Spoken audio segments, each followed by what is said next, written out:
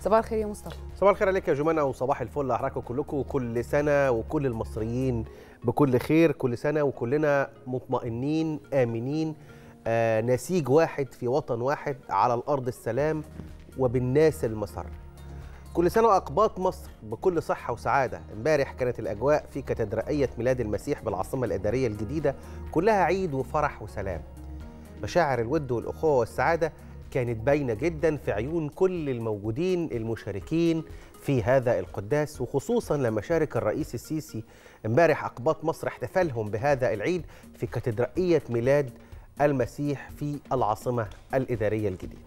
مرة تانية طبعا كل سنة وكل إخواتنا الأقباط بخير وسعادة وسلام ويا رب كلنا دايما في آه، ود وقام مع بعض. ويمكن في الحقيقة الرئيس السيسي أرسى هذا التقليد آه، المهم وهو مشاركة الإخوة الأقباط كل سنة فرحتهم بعيد الميلاد المجيد.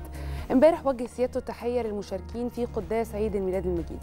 ووجه التهنئة لبابا توادرس الثاني بابا الإسكندرية وبطريرك الكرازة المرقسية وقال إحنا جايين عشان نشارككم فرحتكم ونهنيكم بالعيد وإن شاء الله السنة دي تبقى سنة سعيدة علينا كلنا ونتجاوز بفضل الله أي أزمات موجودة. خصوصا الأزمة الكبيرة اللي بنعيشها دلوقتي في منطقتنا وهي أحداث غزة وإن شاء الله تنتهي. في الحقيقة الكنيسة المصرية يعني ليها موقف مهم جدا في قضية أحداث غزة أرسلت عدد كبير من المساعدات وكان ليها تصريحات مهمة. امبارح أيضا الرئيس السيسي اتكلم آه، لما كان في هذا القداس وقال إن أي أزمة أو أي مشاكل أو أي ظروف صعبة هتحصل بفضل الله طول ما إحنا مع بعض كل الأمور هتعدي وكل الظروف الصعبة هتنتهي. المهم إن بلدنا تفضل بخير والمهم إن الشعب المصري يفضل بخير.